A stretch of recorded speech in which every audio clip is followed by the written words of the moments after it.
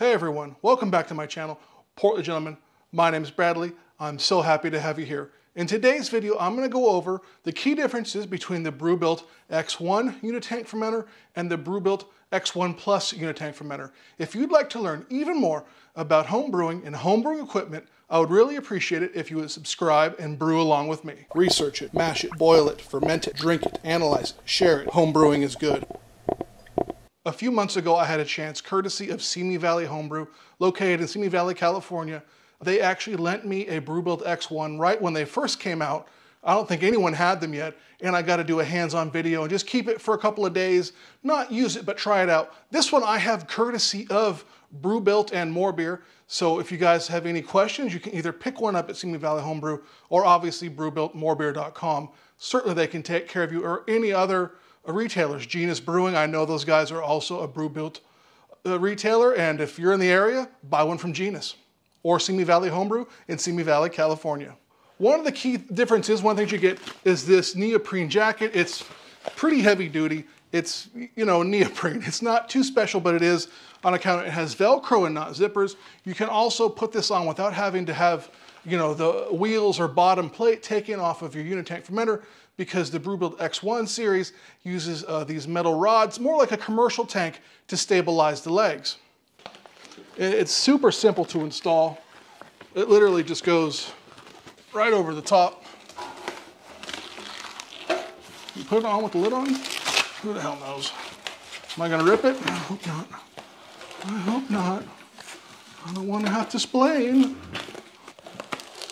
Oh yeah. Oh yeah, come on baby. Come on, baby. Oh, yeah. Let's get it off. Oh, ooh. Oh, daddy like. That Velcro is really strong. So clearly, as I disappear behind this, guys, you can put this on with a lot of stuff on the tank. I'm off camera here because that's what I do, I'm Bradley.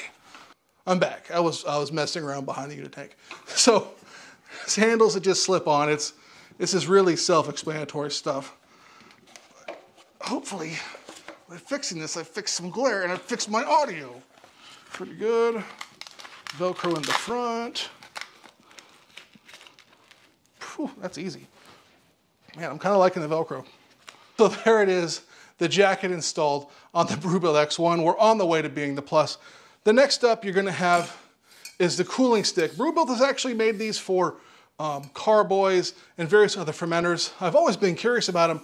I'm so thankful to have a chance to play with it. It's got these uh, quick connects and other quick connect uh, like shark bitey fittings or the in and out higher and lower. It's basically just a tube with another tube in it and once it fills up it pushes out of your glycol or whatever you're using to chill your wort. I'm eager to see how good this works on the 14 gallon model. I've heard on the 7 it's pretty good, but the 14 is, I think, a lot larger relatively compared to this. So I'm wondering if it performs as well or not. I'll report back once I fully test this Unitank fermenter. Only one little nitpick with this. The weld in the bottom here could be polished a little bit better, but I still think this is probably sanitary and good enough. Next, you get the pressure pack, and that's this four inch top with an inch and a half tri-clamp opening. That's so you could slide the cooling stick right there inside of the top of this guy it's also got very clearly labeled out and in gas posts. On the out, you're able to set up one of these floating dip tube attachments that if you haven't tried for one of your uh, torpedo kegs or corning kegs, I highly recommend. And you're able to rack the clearest wort possible. Coming out of the unit tank, I don't know how great that's gonna be. Um, typically, in my experience, I've always transferred pretty clear wort once I've done a proper cold crash. On the top, it has a welded loop here, and this will allow you to dangle hop bags or something inside of your fermenter if you wanted to dry hop or add hops or flavoring to your beer that way. Next up is the one that I, I'm honestly the most curious about. It's this flex chamber. I believe this chamber, they sell it separately. It has a two inch tri-clamp on the top. It's plastic. Uh, it's called Tritan. They're very proud of the plastic.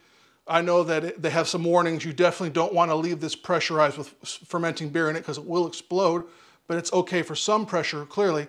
And it seals with an O-ring, but basically this guy could potentially let you low oxygen dry hop or dump trub uh, in a very low oxygen manner without having to go, you know, top down. I have said previous videos that I'm a big fan of gravity. Gravity just works.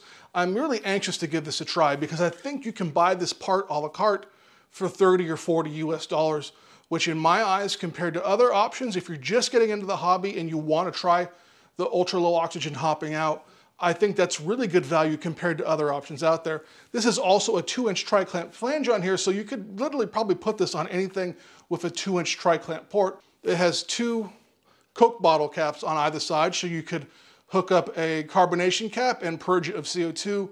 I believe there is also a carbonation stone attachment for this you could put in here.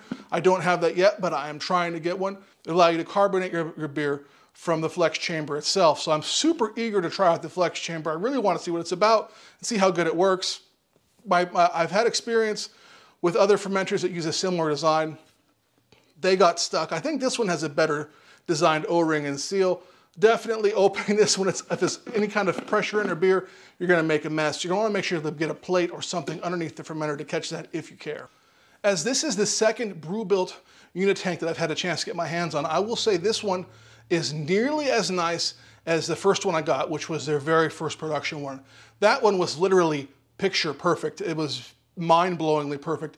This one is very good. It's not quite that good. I'm just gonna be honest, but it's still really good and it compares very well against the rest of the competition that I've had a chance to have hands-on experience with. So that's really quick a look at what makes the BrewBuilt X1 Plus different from the BrewBuilt X1.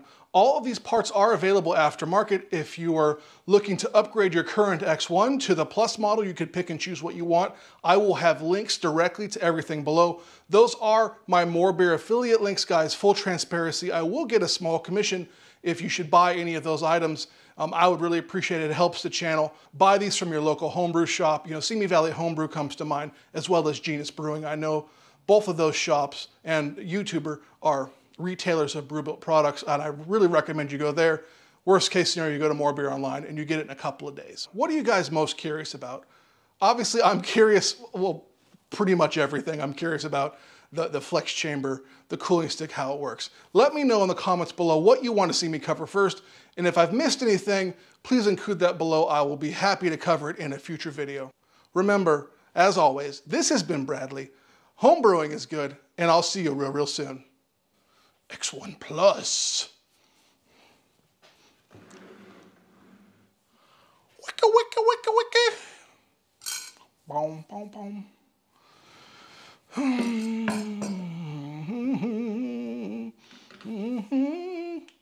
Nope, oh, too dark. Oh, this whole thing is going to be overexposed. It's too much light. Too much. I'm going to get a sunburn.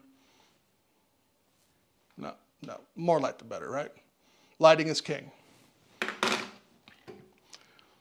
Yeah, no, I like this thing. It is interesting. That's a wrap.